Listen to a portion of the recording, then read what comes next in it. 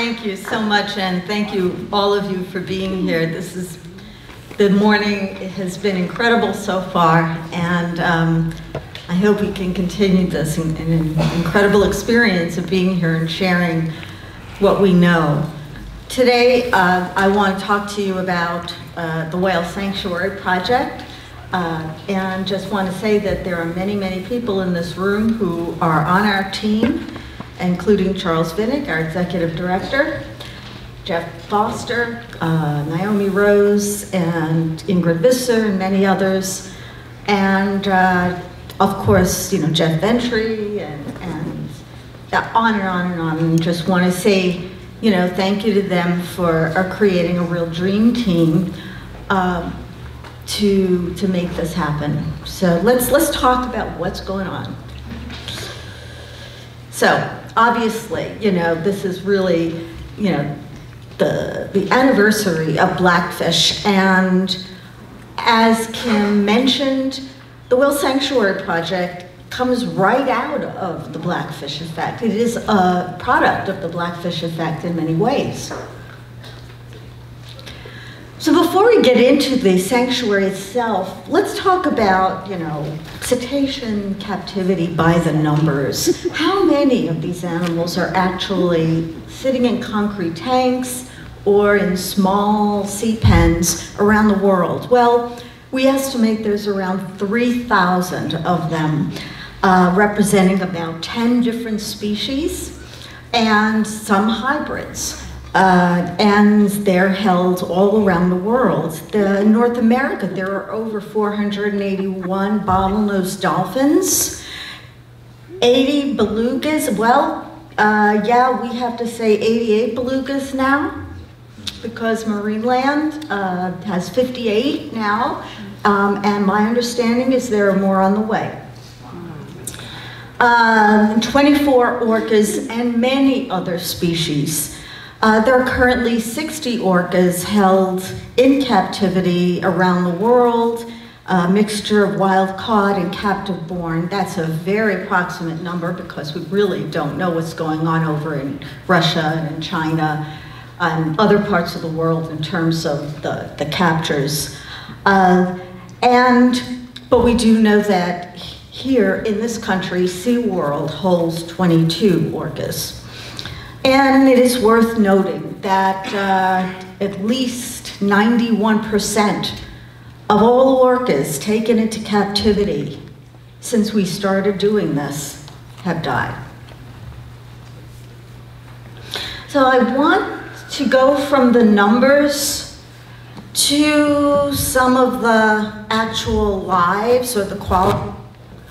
Let's see if we could. Yeah, the quality of the lives of some of these, the individuals who are either sitting in the tanks or were sitting in the tanks and just sort of honor who they are because they're not a number, they're unique individuals who have suffered because of the captivity industry.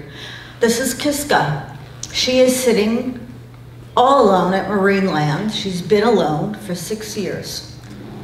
And she has seen all five of her children die in the tanks. And she, ironically, is right next door to the 58 belugas stuffed into the two tanks that are adjoining her tank.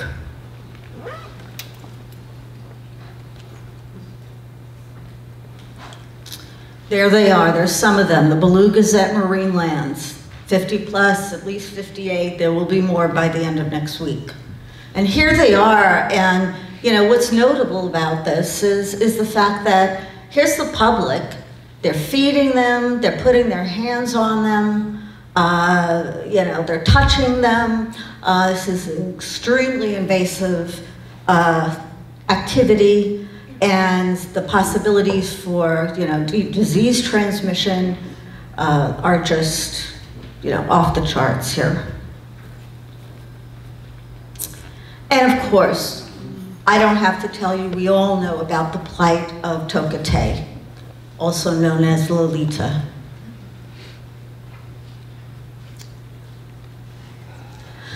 And Morgan, you will hear a lot more about that from Ingrid Visser, who has championed Morgan's uh, uh, plight. Uh, here's Morgan after a show. Morgan is now pregnant and still in Loro Parque. So that's just a few of the many individuals who suffer because they are living in concrete tanks. Let's get into a little bit more of what actually happens to these animals when they are forced to live in the concrete tanks. Um, this is, this is a, a story about chronic stress. It's a story about immune system dysfunction. It's a story of death. Some of the things that we see in many of these animals are infectious disease, all kinds, you know, meningitis, encephalitis, pneumonia, uh, all kinds of infectious diseases um, that are due to the fact that their, their immune systems are, are shot, basically. Um, candidiasis, a fungal infection, we see in orcas in the tanks no record of it in the wild. And many forms of gastric ulcers and other disorders. We see behavioral problems, stereotypies. These are the same kinds of things you see in emotionally disturbed humans and other animals. Uh, repetitive behaviors, one of those be repetitive behaviors is grating the teeth on hard surfaces. You're going to hear a lot more about that from Jeff Ventre um, in his, in his uh, talk, but you can see those were Tilikum's teeth, what was left of them. Um, and it is a form of self-mutilation, and also there's nowhere to go, so they're under very poor muscular condition. You heard from Charles how you have to recondition them uh, because they really don't get any exercise in the tanks. We also see lots of hyperaggression between whales, for instance. This is the, the tragic incident of Kandu uh, colliding with Corky uh, in the tank, and Kandu bled out in front of the audience and in front of her child. Um, lots of depression, going off feed and things of that nature, and poor or absent parenting because they don't have the opportunity to learn how to be a parent um, in, in the tanks. So here are some more individuals, and we all know the case of Kasatka, who was euthanized at the age of 40 uh, at SeaWorld. Um, and you can see that she had some kind of a very, very bad skin condition, and we don't, we still don't know. We do, still don't have an answer as to what actually was going on there. The alarming thing is that we see this in other whales as well. This is Malia. She's an 11-year-old at SeaWorld Orlando, and if you look at the white parts of her rostrum, you can see she's got some kind of a skin condition as well. There's a discoloration. This was taken two days ago, um, and she's getting worse, and no one really knows what she's suffering from, but it's very alarming given the path that Kasatka went down. SeaWorld tried to say it was diatoms. Diatoms? Well, they said on like their Facebook or something, like Malia is experiencing a skin condition similar to wild orcas when they travel through cold water. Oh, okay.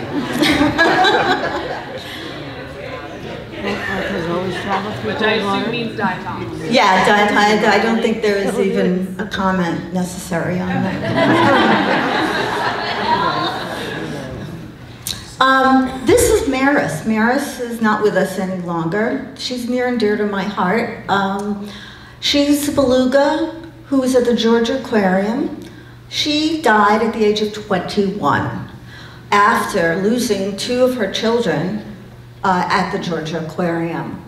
Um, and uh, we are trying to find out what happened to Maris um, because we still don't know what killed her. The official uh, description from the veterinarian, Greg Bossart, at the Georgia Aquarium was, this was a case of acute animal death. Yes, she died of heart failure.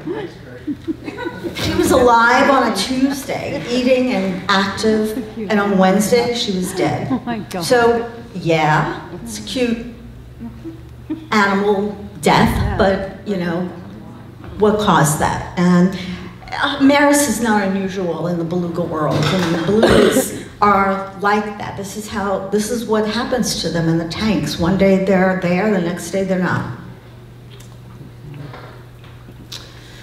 And this is little Aaliyah, little 10-year-old bottlenose dolphin who died recently at Dolphinaris. It's the second or the first one of two dolphins to die in the desert uh, at Dolphinaris in the past couple of months. Bodie was the first one who died there. Yeah, I'm from Arizona. yeah, in Arizona. So, here's the question. How do we end this for good? How do we get to the point where these kinds of things are not happening anymore?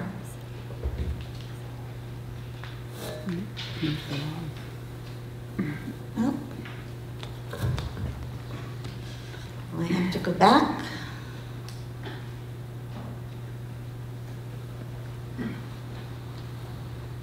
Oh, maybe that is, maybe that is what I wanted to say. Okay. The answer. The answer seems to be sanctuary. And the answer is to provide something that doesn't exist for animals like these anymore, um, or yet. There are sanctuaries for all kinds of land animals. We've seen them, elephants, primates. There are none, none yet for dolphins and whales. But that's about to change.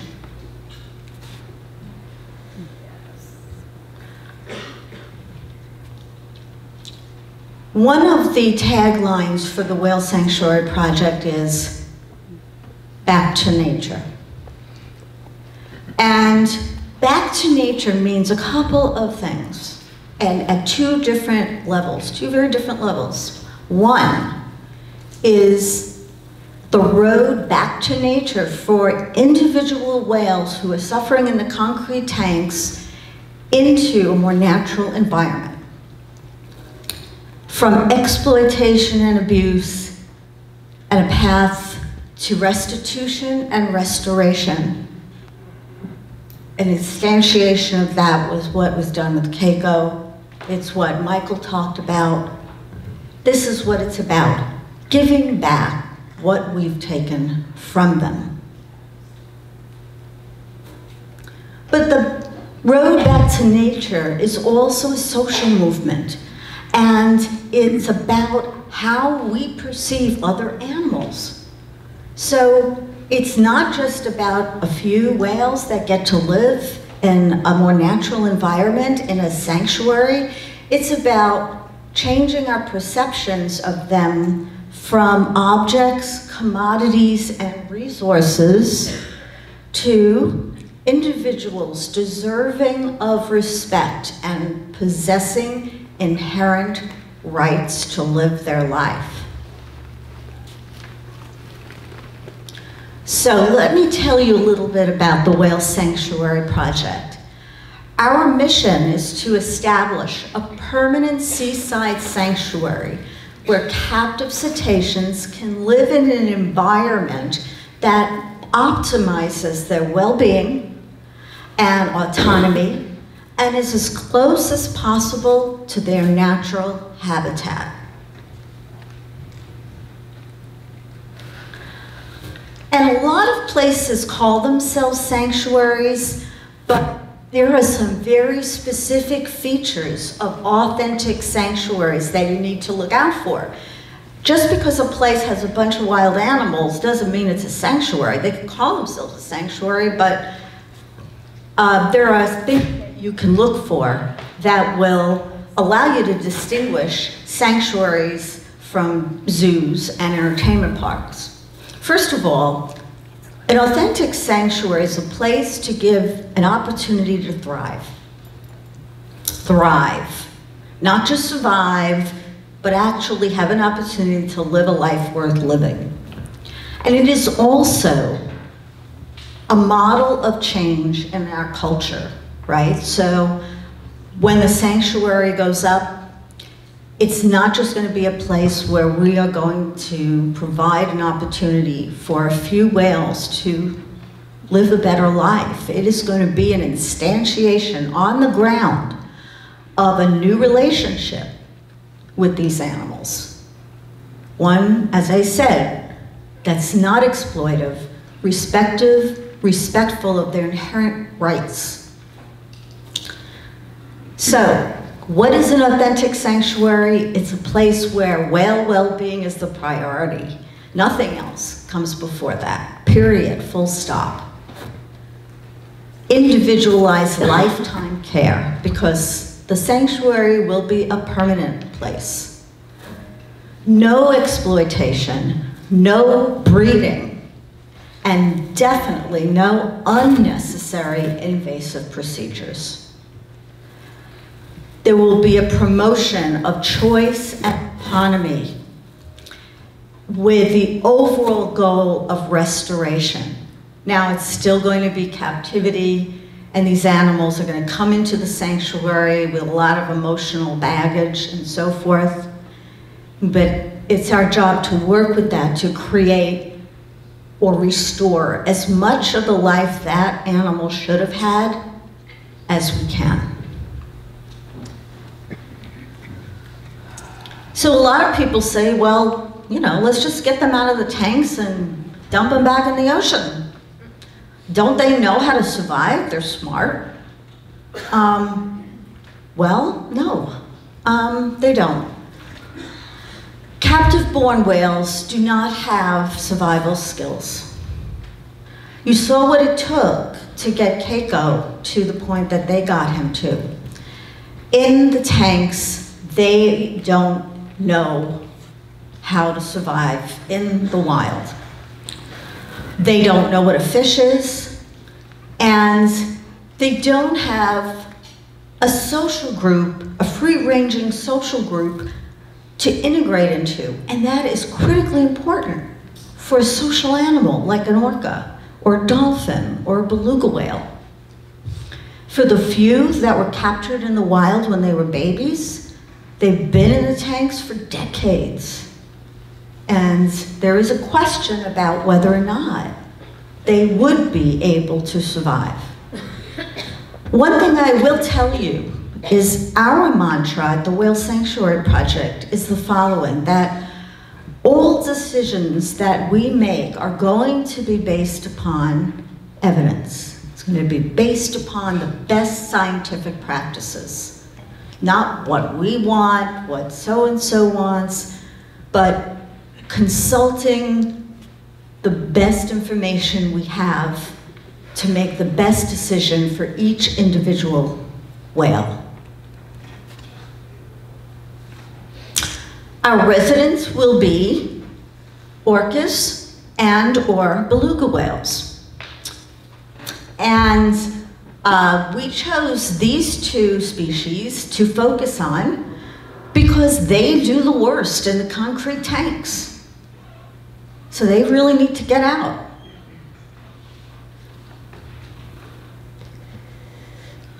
And it's important for us to acknowledge that we're not alone. We're part of a worldwide movement. Naomi talked about this, the fact that there are a number of efforts like this coming online around the world.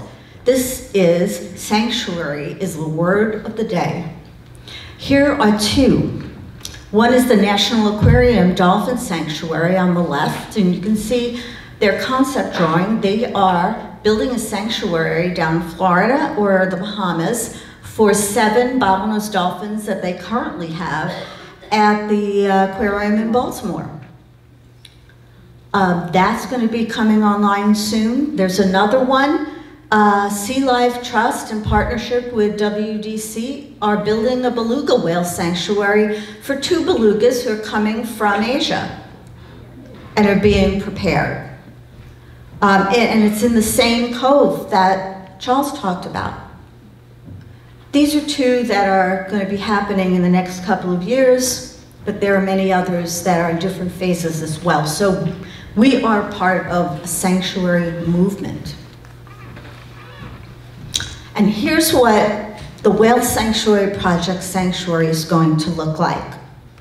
This is a concept drawing. It's not a particular place, but it shows all of the elements that are important for an authentic sanctuary for orcas or beluga whales.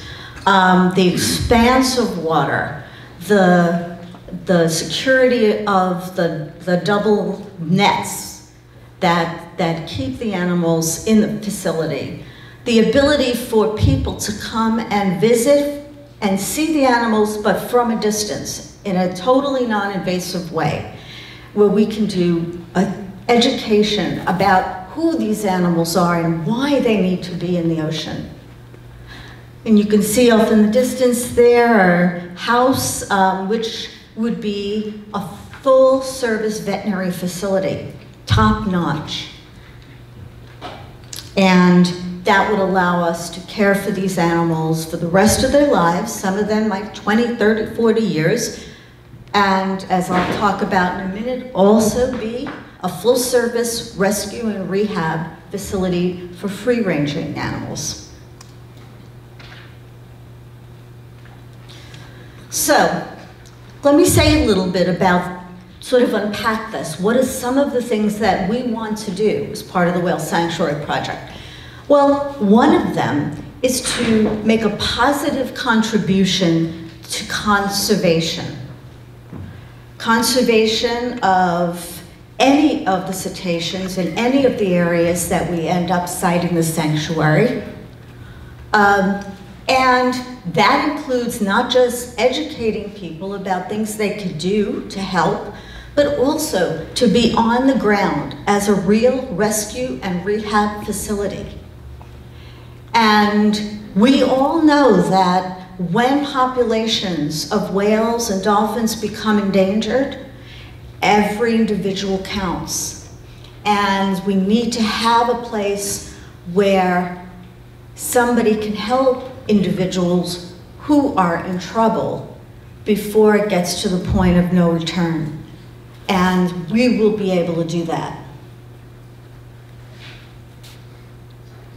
We will also be a place where we can, again, do public education and outreach. We'll have an interpretive center somewhere, may not be right on site, it might be somewhere else, but a place where people can really immerse themselves in real authentic education, not the stuff you get at SeaWorld or some of these other places, but actual scientific information about these animals as I mentioned, they could come and visit, um, see the animals through scopes.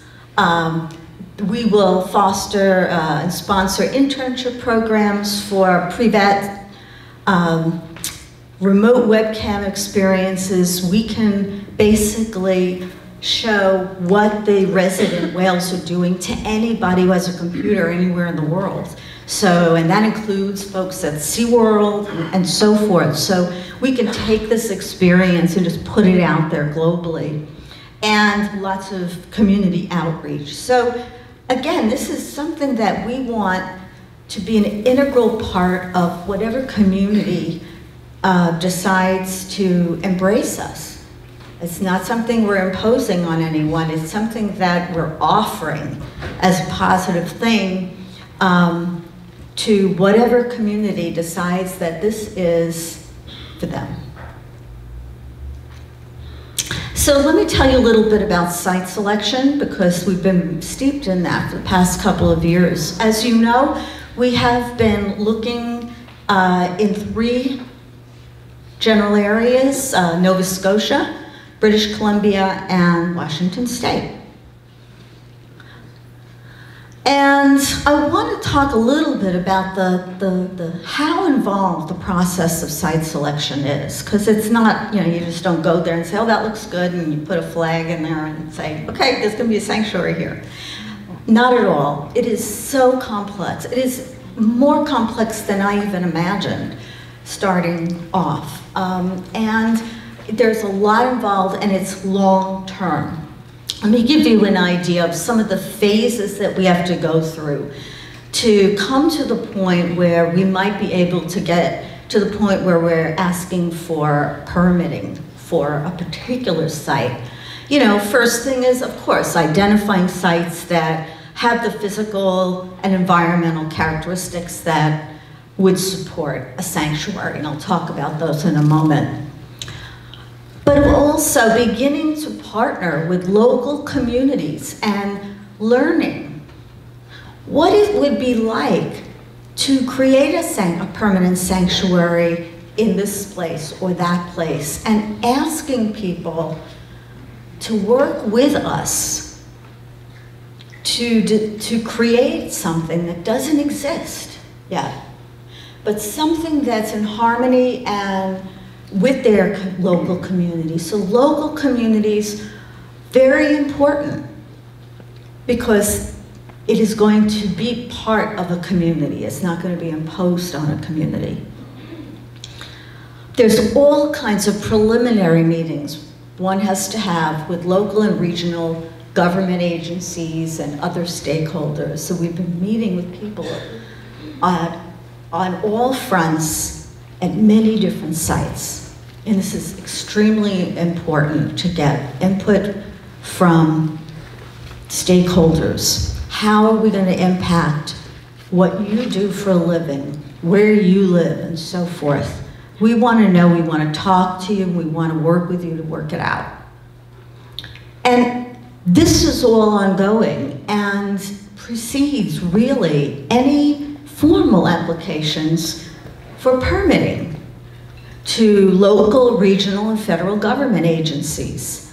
Um, so there is a lot of on-the-ground homework that needs to be done before we get to the point where we could say, okay, let's, let's apply for a permit for this site from the US or the Canadian government, and then there's different levels to that. So our site criteria are generally um, an area of about 100 acres, minimum 65 acres, protection from extreme weather, avoidance of sewage or pollutants, good flushing through, through the water space, um, a minimum depth of 15 meters over about half of the facility, uh, the ability to create separate compartments for medical and management purposes, very important because you know, we were going to have to have a quarantine area, we're gonna have to separate animals who don't get along, and we may need a separate area for uh, rehabilitation of free-ranging animals. So we have to have the topography to create that, those kinds of separations. And of course, you know, not a lot of human activity or boat traffic around the area. So I wanted to talk about this because I think it's extremely important. Um, and wherever we go, our priority is to do diligence in terms of ecological responsibility. And of course, that really comes to the fore when you are considering any region that might contain critical habitat uh, for an endangered population. Um, and so what we've done to address this issue, which is ongoing anywhere we go, we want to make sure that we do diligence, is we've established a panel of leading marine mammal experts, scientists and veterinarians, who can help guide us through the process of assessing the potential impacts and risks of a sanctuary on a particular site. And the goal is to obviously select a site where those impacts and risks can be effectively mitigated. Okay? So, with all that said, let me give you some idea of our progress so far in three areas. Down selecting sites, meaning narrowing down certain sites, a site list, our ecological risk assessment, assessment and community and stakeholder outreach. Okay, so let's talk about down selecting sites. This is, again, a long process. Now, we just began in 2016. We became a nonprofit organization. Um, and the way we began the search is basically by reviewing hundreds of potential sites, either pulled from navigation charts or on Google Maps. So desktop, just to, to find areas in those regions that had the proper environmental features or attributes. Um, and uh, we spent uh, many months doing that and eventually uh, decided on about 120 plus different sites that we should take to the next level of assessment. Still desktop analysis, but starting to look at depth charts, um, where it was in relation to industry, things of that nature. Um, and that continued on all through 2016 and 2017. Um, and we eventually got down to about 30 sites that we have visited on the ground. We have been on the ground or on the water, as it were. Um, 30 sites in Nova Scotia, Washington State, and British Columbia. And we are currently in evaluation of a number of sites of interest.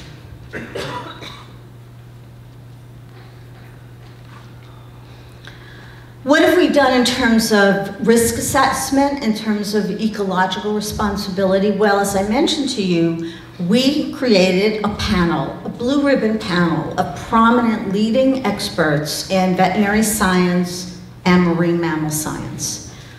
And we asked them for their guidance on issues of things, risks like disease transmission, back and forth from the resident whales to any free-ranging whales in the area.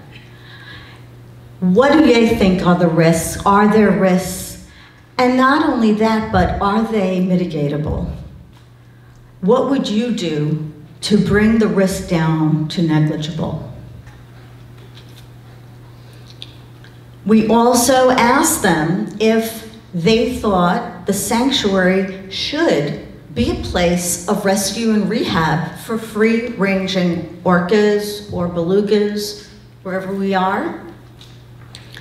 We asked them to recommend actions, and this is very specific to right here, because we're very, very sensitive to the status of the southern resident killer whales.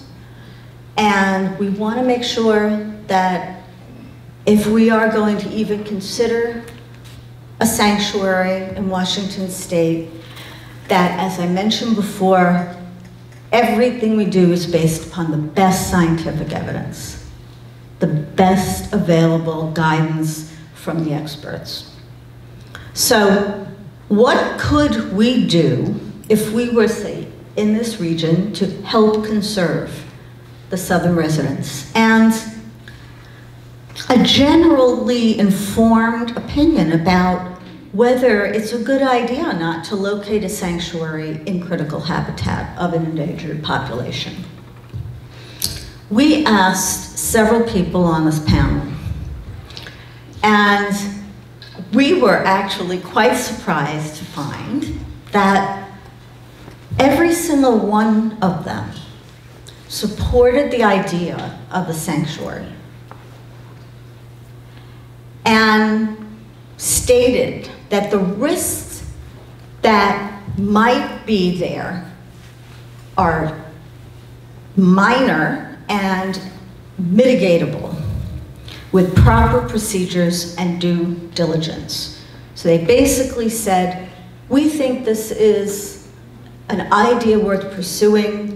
They also said that a big plus would be if you guys were a rescue and rehab facility for the southern residents. Um, that's something you don't have and you're going to need in the future.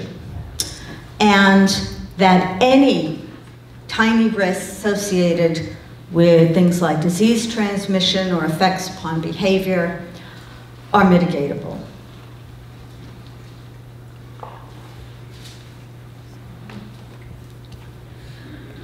In addition to getting the opinion of the scientific community, we have been engaged in a lot of community and stakeholder outreach in all of the sites that we are interested in.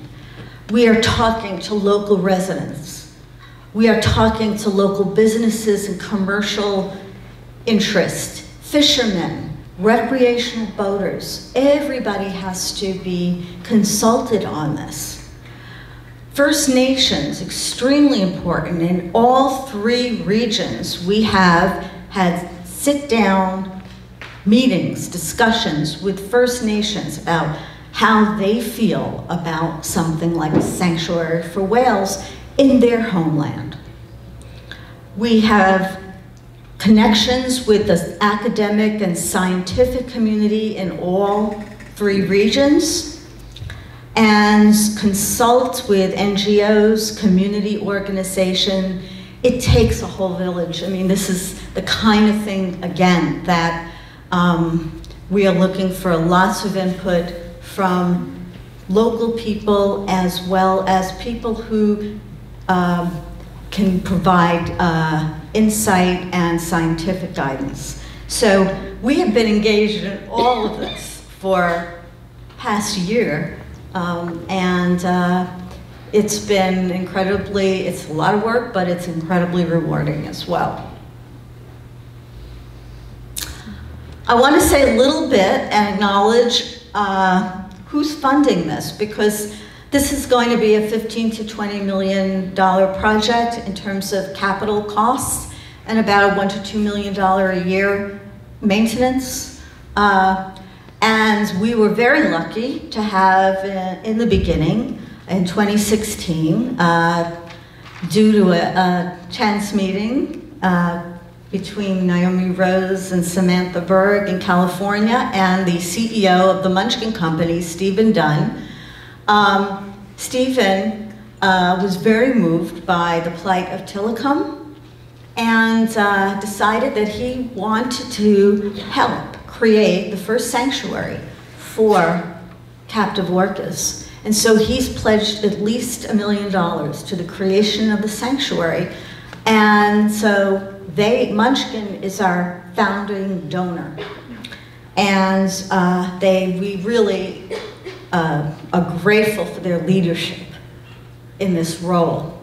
And you can see some of the things that they do on their website. They have all kinds of cute uh, t-shirts, a bathtub is not big enough for an orca.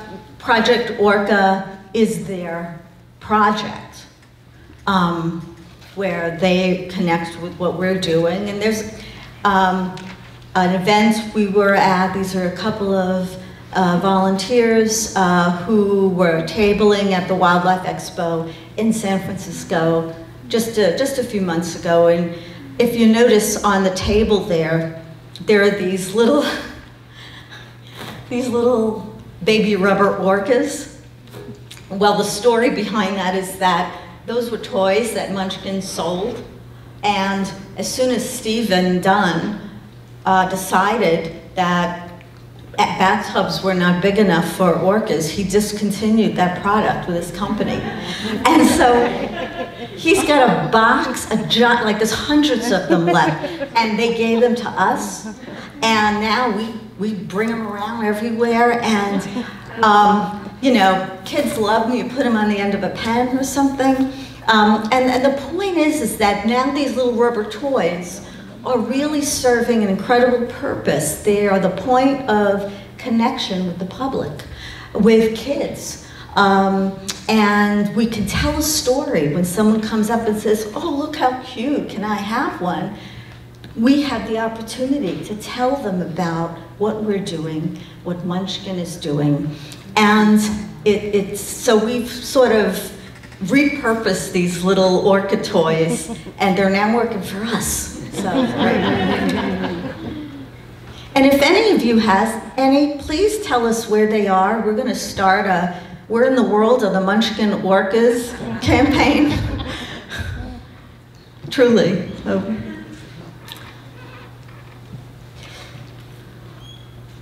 I guess what I want to say is that at this point, you know, two years into this endeavor, this is a long haul, but it's going to happen. There are so many people in this room who have made that possible, who are our support base, who support not only with funding, but with just their comments and telling people about what we're doing. And we need to just continue. We need to continue and build and grow and make this thing happen. And we cannot do it alone. Just like in 2016, when I said, can we build a sanctuary? I didn't just go out there and say, oh, I can do it all on my own. I mean, I gathered the best team in the world to do this. And so we need you guys to be the best team in the world to bring this to fruition. And I want to give a special shout out to one of our really major donors, Jan Pettifor, who unfortunately isn't here today. Um, but Jan has been a, a, real, real major supporter. She's been able to do that. And uh, there she is with my boyfriend Rupert. um, and, uh, and on the right is the uh, Orcamobile, one of many that she has. And just, you know, thank you, Jan, and thank you, all of you.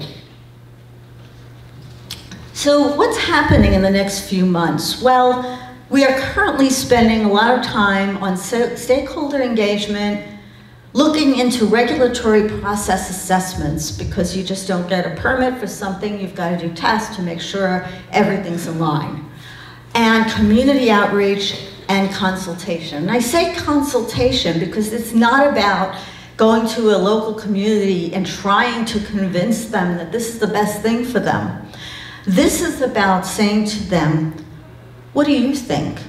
How would this work for you? How would this actually be a plus for you?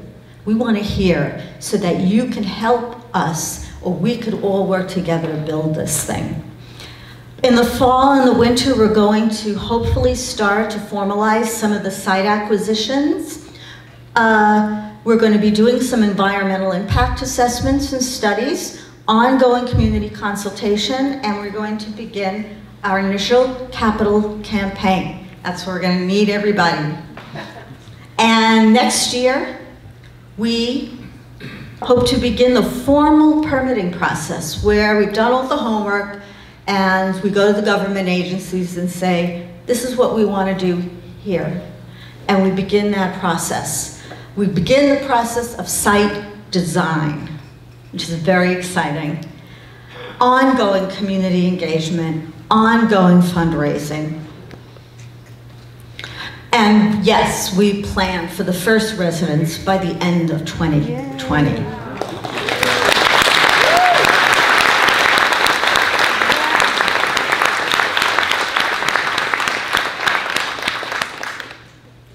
So that's a little bit of the inside scoop on what our team has been doing for the past two years. And again, I just want to thank you for all your continued support. Please tell people about us, go to our website, and also go on uh, Facebook, Twitter, Instagram, the whole gamut, and you'll see lots of fun stuff. Um, just want to mention that uh, one of the organizations that's been really doing a lot to, to help us tell the story in social media is Oceanic Preservation Society, and Louie right here. So we thank them and all the other uh, organizations who have reached out to us to say, we're joining with you to create this sanctuary once and for all. So thank you.